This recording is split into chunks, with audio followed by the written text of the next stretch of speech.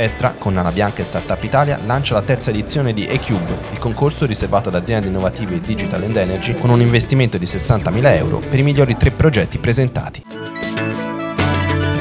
Intesa tra Confcommercio Prato e Pistoia ed Estra Energie per ridurre le bollette di luce e gas. Estra offrirà vantaggiose offerte a prezzo fisso e indicizzato alle imprese associate a Confcommercio Prato e Pistoia.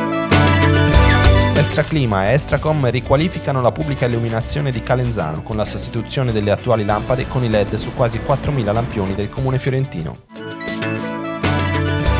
Si rinnova il rapporto tra Estra e il CUS Siena Scherma, con la società energetica che continua ad essere lo sponsor principale del sodalizio schermistico, che ha presentato di recente squadra e tecnici.